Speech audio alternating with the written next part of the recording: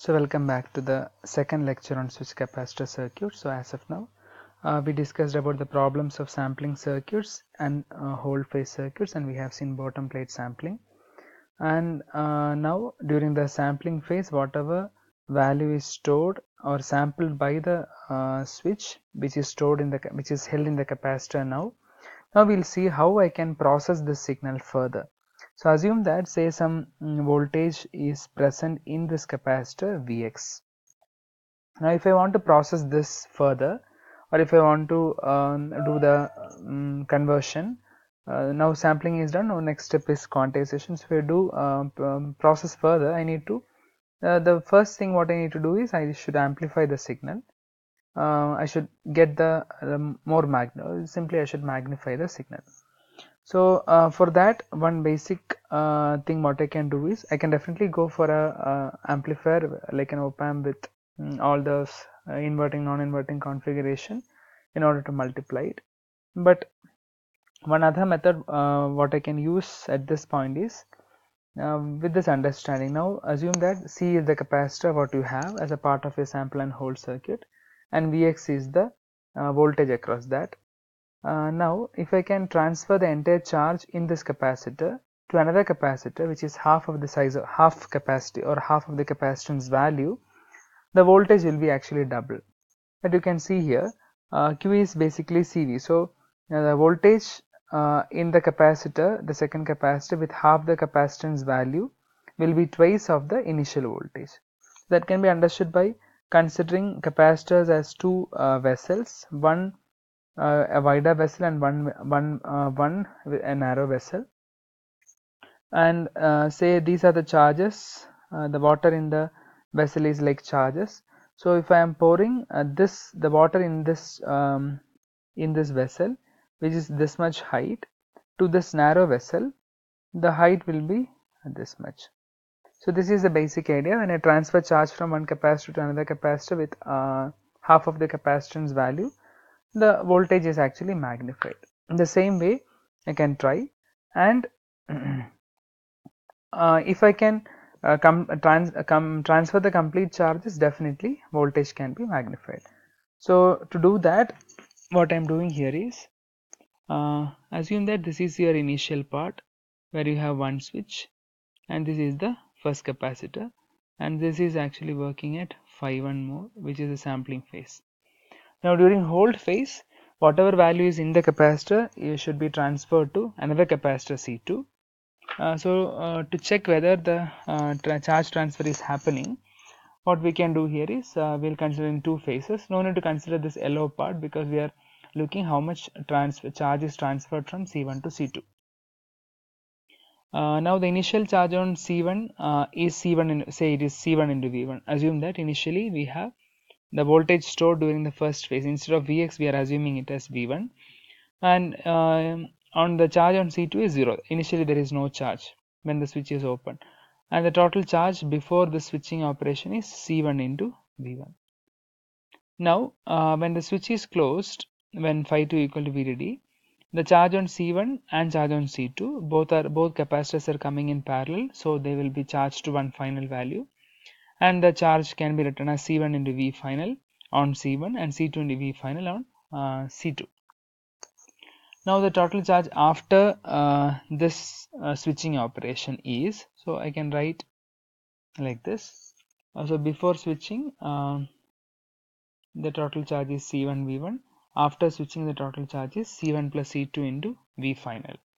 So by applying principle of conservation of charge, I can write the charges before and after switching and we will get the V final as uh, this one C1 by C1 plus C2 into V1.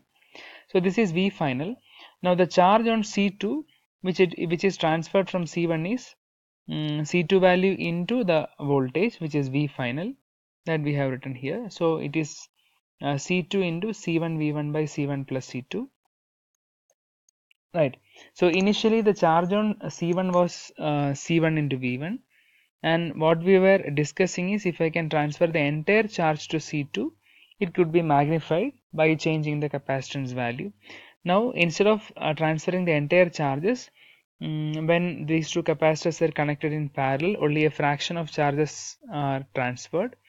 And that fraction is C1 by uh, uh, it is actually C2 by C1 plus C2 so C1 V1 is the charges charge which we had in the capacitor C1 first and C1 V1 into C2 by C1 plus C2 is the charge which is transferred so this is actually the charge transfer ratio which is C2 by C1 plus C2 now one question here is, is it possible to transfer the entire charge from C1 to C2?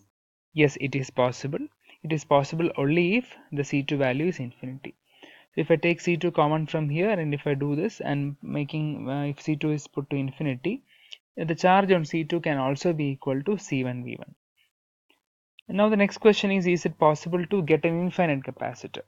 So practically getting infinite capacitor is difficult, but definitely we can try for that. And in order to get infinite capacitor we have one method. Uh, yeah. So to transfer entire charge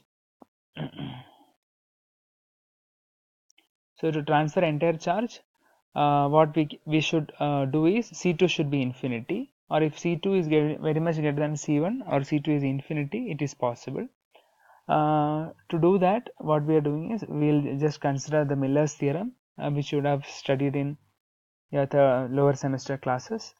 So if you have an impedance of say Z and if I put that impedance in the negative feedback of an amplifier with a gain minus A, the impedance seen at the input is Z by 1 minus the gain. If gain is minus A, Z by 1 plus A. So if the impedance what I have here, if, if it is a capacitive impedance, uh, 1 by SC1 is equal to 1 by SC into 1 plus A or the capacitance C1 is nothing but C into 1 plus A. So this is the this is the one thing what we want here, right? So we have a finite capacitor, but we should get a large capacitance out of that. In that case, if I place that capacitor in the feedback path of an amplifier with a very high gain, it is uh, possible to get high value capacitor. So uh, we have studied in second uh, unit regarding how to get high gain amplifiers. So if I have a high gain amplifier here, the capacitance C1 will be very large. Now, uh, yeah, so this principle uh, will uh, follow here to get an infinite capacitor. So this is an initial part, um, first switch and the capacitor. Now this is the second capacitor where I need to transfer the entire charge from C1 uh, to the C2 but if I'm just connecting C2 the entire charges are not getting transferred. Only a fraction is getting transferred and that fraction is C2 by C1 plus C2 into C1 V1 now if I want to transfer the entire charge the capacitor C1 should see an infinite large capacitance. And to do to get the infinite large capacitance this finite capacitor should be in the feedback loop of a amplifier so if I place the op amp uh, in this way uh, it is actually equal to yeah you can see in this fashion yeah. Uh, this is equal to uh, uh, from phi to another capacitor is connected in the negative feedback and from here we'll get the output. And if you want to write the output expression actually the output expression is equal to minus of uh, c1 by c2 into vin so uh, minus of feedback impedance by input impedance uh, will be same as that. Right. Now uh, this circuit uh, is known as parasitic sensitive this um, circuit is basically known as switch capacitor integrator because at each every at uh, the all time instance whatever v in value is there uh, which will be sampled by the capacitor which will be further transferred to the capacitor C2 and in each cycle the value in the capacitor will be keep on accumulating.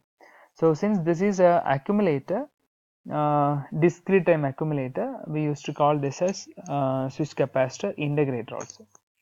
And why it is known as parasitic sensitive is because in an IC each node is associated with a parasitic capacitor. So with uh, in that sense if you look at this node even this node is associated with a parasitic capacitance say Cp so the circuit is sensitive to parasitic capacitors. So this is a parasitic sensitive switch capacitor integrator.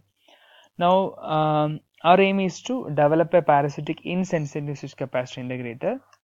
So that we'll uh, see how it can be done. So now uh, we'll try to draw the complete circuit. Uh, this is your initial switch. This is your capacitor what you have. And we have another capacitor switch here which is the bottom plate sampling thing. So this is phi 1 and this is phi 1a now here you have the next switch. This is supposed to be phi 2 and from here we are giving to op amp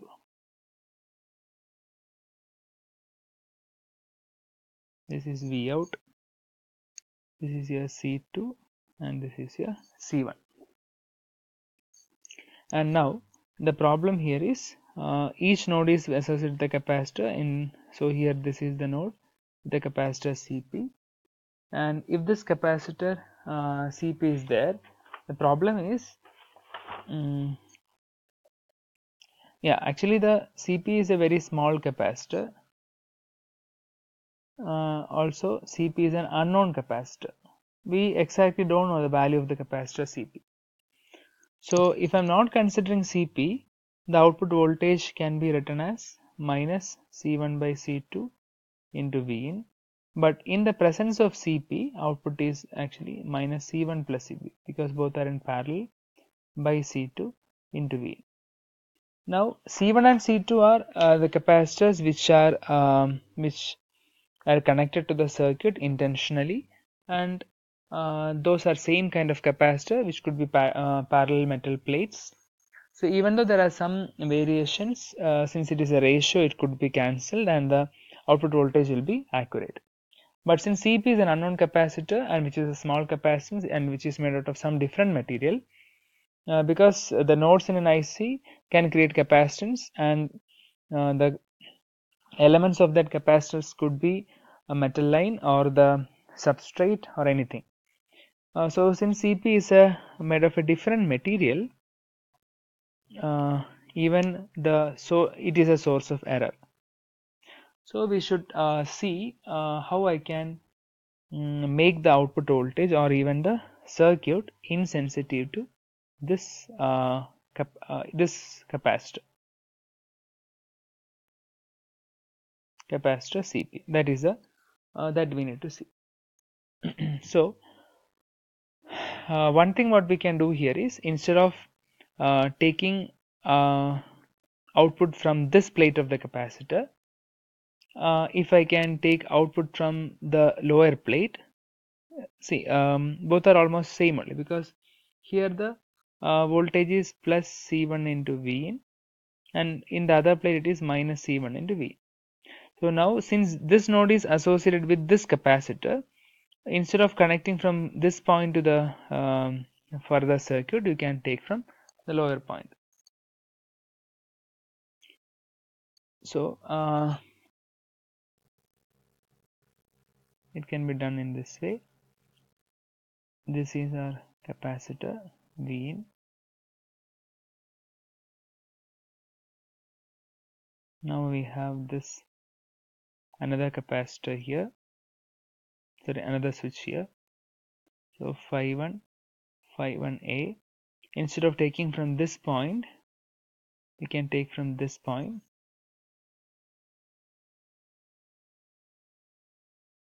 This is phi 2 and rest of the circuit so if I want to take from this point uh, then uh, during phi 2 I should add another uh, switch here. Phi 2 so that from this point I can take the output. And this uh, node which is having that uh, parasitic capacitance could be avoided. Yeah. so uh, in detail we'll see in next lecture. Thank you